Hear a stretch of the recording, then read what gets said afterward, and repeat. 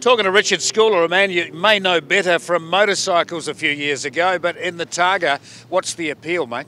Uh, speed, it's a great week away. I've really stuck at it for many, many years just because it's a wonderful week out of life and to go and do this sort of stuff. Beating Tell- cars, wasting petrol. Tell us about your choice of weapon. Fairly unpopular now, Rotaries.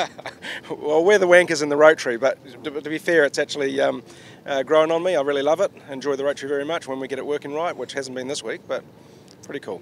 Characteristics of these cars have been generally that they lacked torque and you had to have them up in the revs to have sufficient horsepower, but there was plenty there when you got there. Uh, kind of, sort of. The, the turbo in this car actually gives it heaps of torque and it really drives off the corners well. We've actually been off the out of the rally for a day and a half now, just with a lot of issues going on. Uh, been with a guy in Dunedin called Mike Lynn, and he's actually uh, built a lot more torque into the engine through the dyno work that he did yesterday. Really looking forward to getting out there with that today.